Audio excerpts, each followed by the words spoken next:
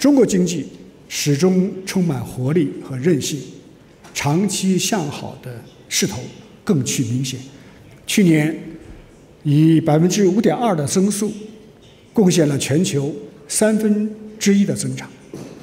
随着世界上最大规模市场的快速成长，中国将向世界释放更大的利好。稳定发展，符合。我们将继续扩大制度型的开放，缩减外资准入的负面清单，为包括欧洲在内的各国的企业提供更为市场化、法治化、国际化的营商环境。当前，我们已经从二十三个国家。互免签证，并对欧洲等多个国家实行了单方面的免签。下一步，我们还将为各国人民到中国来投资兴业、旅游学习提供更多的便利。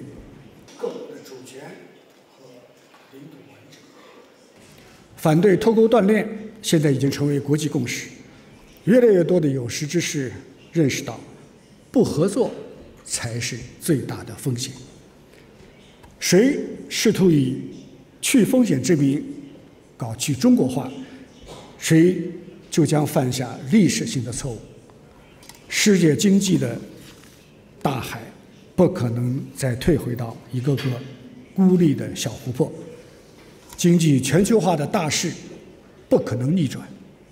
我们应一起努力推动全球化朝着更加普惠包容的方向发展让更多国家更多的人民来从中获益台湾是中国领土不可分割的